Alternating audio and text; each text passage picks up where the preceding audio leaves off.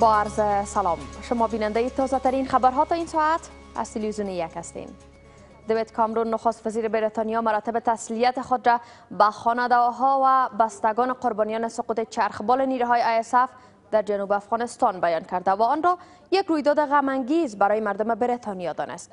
در این حال و این ادعا را رد کرد که این چرخبال از سوی طالبان سقوط داده شده است. از سوی هم وی تاکید کرد که تا علت سقوط این چرخبال روشن نشده است و بررسی ها در مورد ادامه دارد. با کشته شدن پنج سرباز نیروهای بریتانیا در افغانستان شمار کشته شدگان نیروهای بریتانیا در افغانستان به 453 تن رسید.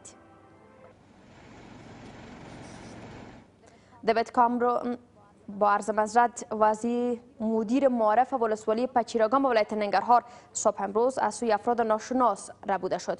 مسئولان معارف ولایت ننگرهار با تایید این خبر می‌گویند مدیر لعلون صبح امروز پس از ادای نماز صبح از سوی افراد ناشناس ربوده شده و تاکنون مسئولیت آن را فرد و یا گروه به عهده نگرفته است.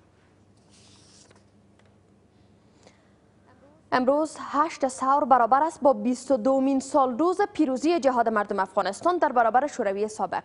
مردم افغانستان پس از 14 سال جهاد در برابر قشون سرخ سرانجام پیروز شده و با شکست حکومت دکتر نجیب الله آخرین بقایای رژیم کمونیستی از میان برداشته شد. اما پس از به قدرت رسیدن گروه های مجاهدین این گروه ها با هم درگیر شده و یک بار دیگر کشور وارد جنگ های داخلی شد. جنگ هایی که تلفات زیاد را به همراه داشت و نیز سبب شد تا بسیاری از شهروندان کشور را ترک کنند.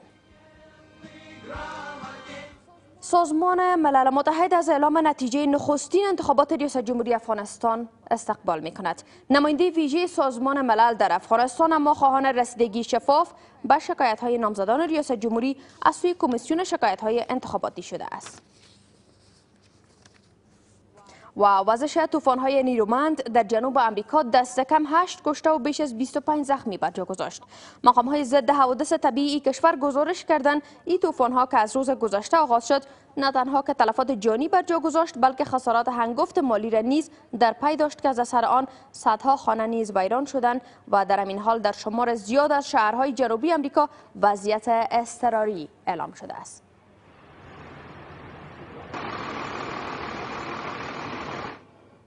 از همراهیتان تشکر و وقتتان خوش